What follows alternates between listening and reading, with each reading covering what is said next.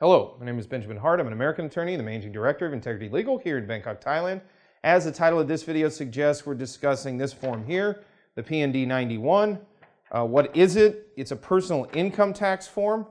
Um, that's the best way to describe it, in my opinion. It needs to be dealt with on a yearly basis, somewhat similar to the PND 50, which is the corporate income tax form, which is dealt with on an annual basis.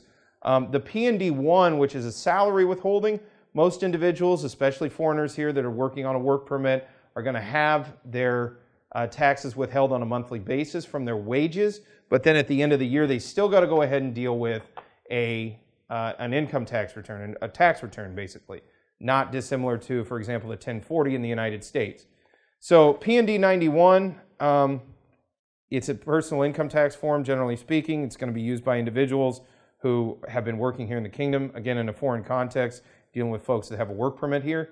Um, why is this important in an immigration and work permit context? Because as many foreigners can tell you, um, immigration oftentimes, and in some cases the Labor Department, will ask to see that this was actually filed uh, before they'll go ahead and renew a work permit or a visa extension in the Kingdom of Thailand. Uh, I know a couple of people personally firsthand who have showed up thinking they have all their documentation done and their accounting firm may have gotten all the corporate documentation done, but they didn't deal with anything with respect to the personal tax forms associated uh, with a given foreigner here in the kingdom. So again, this is something to think about for those living here. Um, a personal income tax return needs to be done, especially if you got a work permit because PND 1's being filed, most likely at least.